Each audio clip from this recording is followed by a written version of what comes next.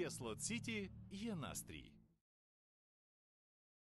Командование вооруженных сил Польши выпустило официальное предупреждение. В ближайшие дни могут произойти, цитата, «незапланированные военные действия, связанные с обеспечением госбезопасности». Поэтому с 5 февраля сегодняшнего дня по 5 мая вводятся предупреждения для полетов в воздушном пространстве Польши. Страны Большой Семерки собираются усилить нефтяные санкции против РФ. Для этого они хотят ограничить использование России и ее теневого флота для транспортировки нефти. Об этом сообщает издание Bloomberg. Отмечается, что с помощью теневых трейдеров и судоходных компаний Россия собрала сотни танкеров для транспортировки своей нефти в обход ранее установленного ценового потолка на ее ресурс 60 долларов за баррель. Это позволило Москве транспортировать свою нефть без использования западных услуг, страховых, финансовых, а также кораблей, говорится в сообщении. В связи с этим отмечается, что G7 хочет усилить контроль за соблюдением ценового потолка. Причем уже во втором квартале 2024 года, в апреле-июне. Кроме того, там намерены наказывать тех, кто вовлечены в нечестные практики РФ. Мы усложняем для России использование ее теневого флота. Это вынудит ее использовать для перевозок нефти флот G7, в рамках работы которого поставщики услуг придерживаются потолка цен, рассказала представительница Управления по вопросам имплементации финансовых санкций Великобритании Ольга Димитреску. Вы сказали, что санкции работают хорошо, и все же даже при снижении доходов от э, продажи нефти, газа и сырья России хватает денег на войну. Вот традиционный вопрос, наверное, который задают всем, а как долго их еще будет хватать? Нет, это, это сказать совершенно невозможно. Но вот зачем нужно следить, чтобы понять, сколько у России еще средств осталось для ведения войны? Надо смотреть э, ну, за движением денег. Э, э, нефтяные цены, когда они невысокие, они приводят к тому, что в России меньше средств от экспорта той же самой нефти – ну вот запланировали в бюджете, что для того, чтобы хоть как-то свести концы с концами в бюджете, нефть нужно продавать по средней цене 71 доллар, там 30 центов, что-то такое заложили. Потом вдруг выяснилось в прошлом году, что если даже по 78 продавать, все равно не хватает для бюджета. Ну, война должна быть профинансирована. И поэтому для того, чтобы возместить вот эти потери бюджета из-за того, что не хватает доходов от экспорта энергоносителей и прочего сырья, надо обращаться к фонду национального вот этого благосостояния, благоденствия, благорастворимости или как уж там он называется.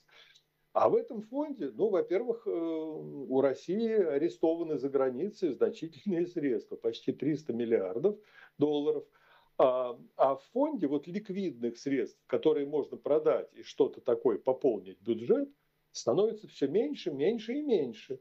Когда мы смотрим, как каждый год усыхает этот фонд, а из него там еще финансируются кое-какие по распоряжению президента проекты первоочередные, или просто пополняется ну, вот, бюджет, нужно пополнять.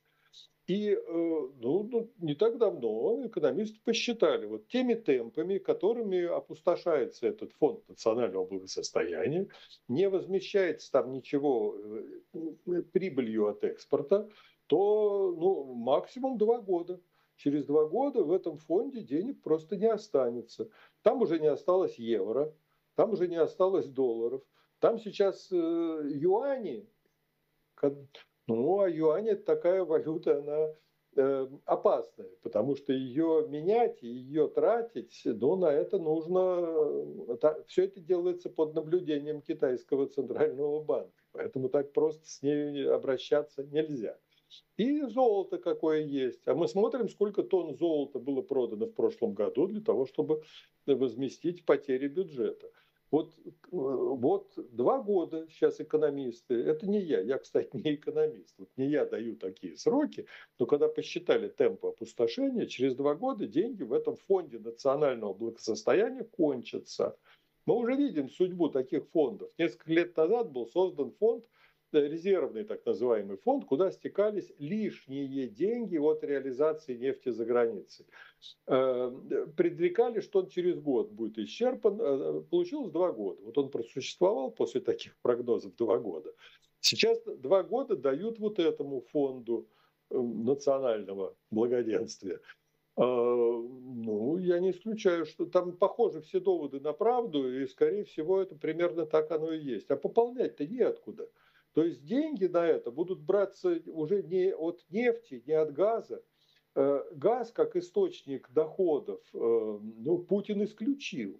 Потому что начиная с 2021 года, он по его приказу «Газпром» постепенно уходил, уходил и почти ушел с европейского рынка, где он зарабатывал основную часть денег. Замены-то этому нет никакой. Добыча газа в «Газпроме» упала на четверть, значит, э, доходов от экспорта газа ну, ну, просто не стало таких, какие были раньше. А по нефти санкции подействовали, тоже таких доходов уже нету. Вот где деньги брать?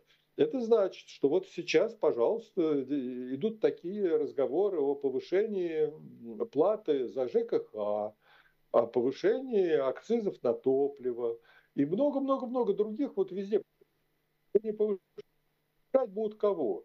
Те компании, которые, у которых еще какие-то деньги есть, население это уж совершенно обязательно. Мы видим, как сокращаются государственные э, э, субсидирование или финансирование, здравоохранение, э, образование. Ну, на войну вот остаются. И когда говорят, что, извините, смотрите, вот какая у нас победа. Мы ВВП российский, он на 2 почти с половиной процента за год увеличился. Ну да, э, промышленное производство увеличилось. Какое? Это вот лепят где-то в каких-то областях, где есть военное производство. Снаряды, бронетранспортеры, там еще что-то такое. Все это едет на фронт и через две недели благополучно взрывается или э, погибает где-то в украинском черноземе. А это что? Вот это дает социально-экономическое развитие стране, населению? Вот что это такое дает? Да, это вот бумажное увеличение ВВП, которое на самом деле совершенно неконструктивно. Это делается, этот ВВП, который тут же уничтожается на фронте. А с населения будут слуплять все больше и больше.